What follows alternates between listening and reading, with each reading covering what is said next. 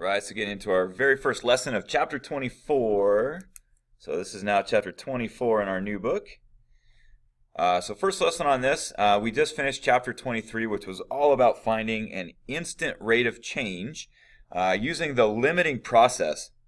Well, now when we get into chapter 24, uh, we're really accomplishing the same goal, but we get all the cool shortcuts of calculus. So um, instead of having to go through that limiting process, we get some quicker ways to go. One of the things that we had to come up with was uh, some expression for h uh, that we dealt with in the last section, and there was quite a bit of side work that went into doing that. What you're going to see now moving forward is a just a much more efficient process, and that's the work with derivatives. So um, the the process itself is called differentiating. Um, when you differentiate, you are finding the derivative. So uh, these can be worded either way. Sometimes they just say differentiate. Sometimes they just say find the derivative.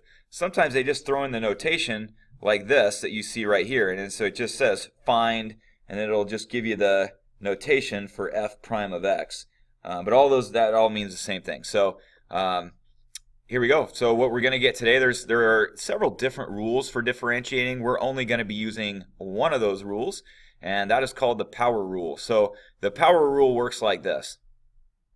Uh, to find our derivative, um, if we have a function, all we simply do is we take the exponent, we multiply it to the front, and then we subtract 1 from the exponent. So I'll give you a quick example of how that would look with part A here. So if we were to find the derivative of this expression, we multiply the 3 to the front. So 3 times 2 is 6. And we subtract 1 from our exponent. So we are down to 6x squared, and that represents the derivative. So this can now be used to find the instant rate of change at any point on this function. So one of the one of the tedious parts about the last um, chapter with doing the limiting process is even when you did all that work to find an expression for h, it only worked for one specific point.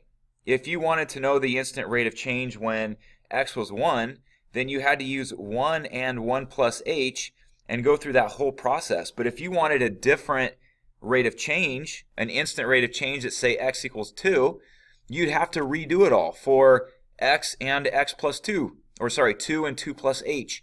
Um, and so it was that was a pretty tedious thing to do. But when you get this expression, the derivative, if I just want the instant rate of change when x is 1, I just plug in a 1. If I want the instant rate of change when x is 2, I can just sub in a 2. Um, and I can get my answers that way now, and it's just so much quicker. Uh, one quick side uh, note for notation. Um, remember where all this comes from. The derivative, just like we saw in the last chapter, is slope or rate of change. Um, slope, as you know it, um, is y minus y over x minus x. Right? That's the way that we're used to seeing rate of change. Um, well, one, one other way of writing this is the difference in your y's over the difference in your x's. So that's the same thing as what we just did here. So the rate of change of this expression, or the slope of this expression, is 6x squared. So whether you write that with uh, this formula, which we're not going to use anymore, or this notation, dy dx, or this notation, those all refer to the same thing. They refer to the derivative, which represents the rate of change of that function. So that's what we're finding when, as we're doing these. Uh, so let's just do a few more here with the power rule.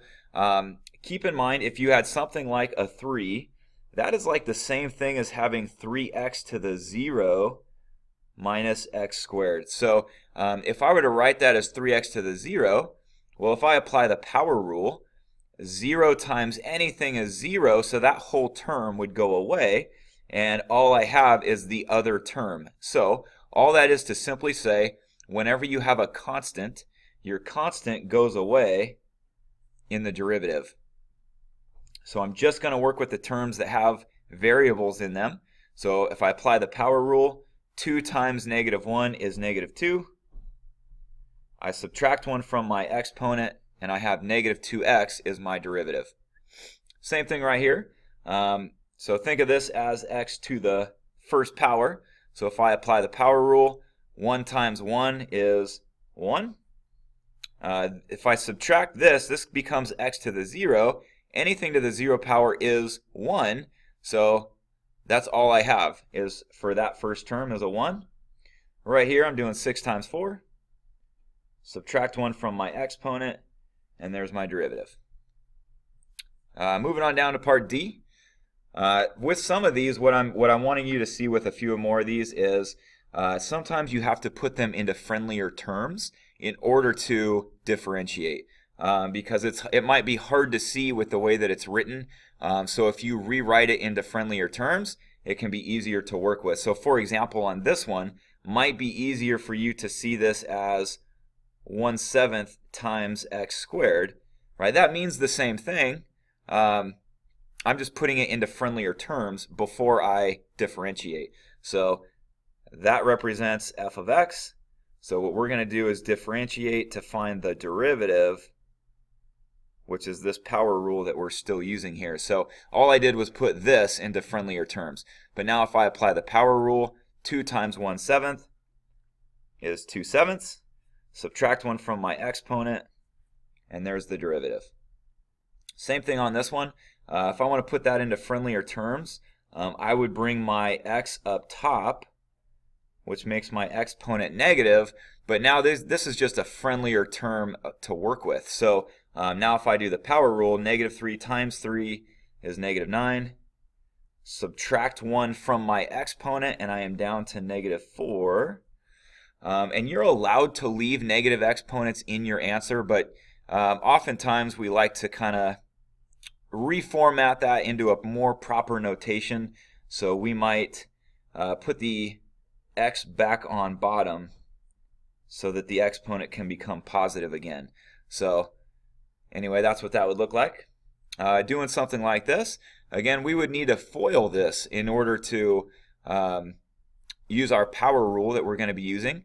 Uh, there's another rule for this when it's in this format, but we're not learning those other rules. So we're just going to use the power rule. So in order to use the power rule, uh, I need to separate out the terms. Um, so we're going to FOIL this one. So if I did x plus 3, x to the third plus 2 times x to the third plus 2, and I FOILed that, uh, this is the new expression that I'm going to get. Um, let's see, we got x to the 6 plus 4x to the third plus 4. So once you FOIL that, that's the look that you're going to come out with right there. Now you can use the power rule to get your derivative. So 6 times 1 is 6. Subtract 1 from the exponent. 3 times 4 is 12. Subtract 1 from the exponent. Constants go away, and that's our derivative. Same thing on this one, just a formatting issue. So let's distribute the x first so that all of our terms are nice and clearly separated. And now we can find the derivative. So uh, keep in mind, we have not found the derivative yet. Oftentimes students stop here. All we did was reformat. This is still f of x. I, I now have to use the power rule. So uh, multiply the 4 to the front, subtract 1 from the exponent, same thing here. If I multiply 1 times negative 3, that becomes x to the 0, so I don't need anything there. And then our last term would be 25x to the fourth.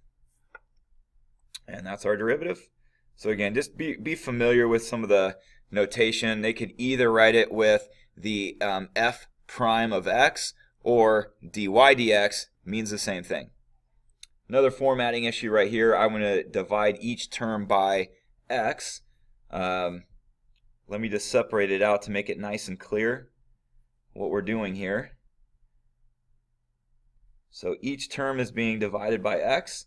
Uh, the first term, I can simplify that. That just becomes 4x. My middle term just becomes 3. And if I bring this x up top, I have x to the negative 1. So this is our expression in its most friendliest terms for using the power rule. So now as I go through and differentiate, um, it's just easier to do from this format. So now as I apply the power rule, so f prime of x, 1 times 4 is 4. Subtract 1 from the exponent, we get x to the 0, so that goes away. The constants go away, and this would be if I multiply negative 1 to the front, I get negative 1x. Subtract 1 from your exponent, it's now negative 2. Um, and you could, if you wanted to, rewrite that with a positive exponent so it would look like this. Um, but that's not mandatory unless the directions specifically ask you to do that. So um, otherwise you could leave it in either format. Second derivative, so here's what we're going to end on for lesson one. Second derivative is just doing the derivative of the derivative. So um, for those of you who kind of move forward with this, maybe in physics or some other area, um, you know, th this this all now plays into distance, velocity, and acceleration, and that's what second derivatives are used for is cases like that. Uh, but anyway, for our purposes, we are just taking the derivative of the derivative. So if 6x to the third is our initial f of x value, that's f of x, then the first derivative, f prime of x, with our power rule would be 18x squared. The second derivative is just the derivative of this. So 2 times 18 is 36. Subtract 1 from my exponent. Oops. And we're now down to x to the first. And that's it. You can keep going with those. We're not going to go any farther than a second derivative, but those can continue on. I could do a third derivative um, if I wanted to and to continue to go, but we're not going to go any farther than second derivative. So um, I threw the last one in here is just to show you kind of a more complicated version of this problem because um, you're going to see some of these. So uh, let me just start out by doing some FOIL here. So let me just leave him alone for a minute. And if I were to do this times itself, in other words, I would FOIL, um, here's what I'm going to come out with. Um, my first term is going to become x. My second term would become 10. And my last term would become 25 over x. Um, if, if you're trying that on your own and you're not getting it, here I'll show you really quick where that's coming from.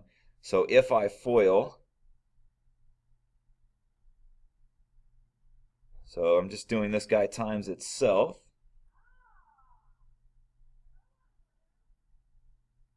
So it looks like this. So as I multiply those first terms, rad x times rad x is just x this times this, notice my uh, rad x here and the one on bottom would cancel, and I'm just left with a 5. Same thing would happen as I do that for the middle terms. And on the last term, um, again, I got the 25 on top, rad x times rad x. So we're going to be left with that uh, 25 over x. And if you combine the ones in the middle, we get this expression right here. So uh, that's, that's the FOIL process. If I now distribute the 2 over x, so 2 over x times x is just 2 times 10, and I'm going to get 20 over x. And the last one there at the end, looking at 50 over x squared. Uh, one more thing I would do to put it put it into friendlier terms before doing my derivative would be to bring my x's up top. So I'm going to write that as 20x to the negative 1 plus 50x to the negative 2. Now it is in its most friendliest form for using the power rule. So here we go with our first derivative. That's still f of x. We have not differentiated anything yet. We just reformatted the problem. So now as I go on to do f prime of x, your constant would go away. Negative 1 times 20 is negative 20. That becomes x to the negative 2. Negative 2 times 50 is negative 100. That becomes x to the negative 3. So that's our first derivative. And again, like we did with some of the other ones, like this one right here, um, I could reformat this uh, to make my exponent positive if I wanted to. I could write it as negative 20 over x squared and negative 100 over x to the third.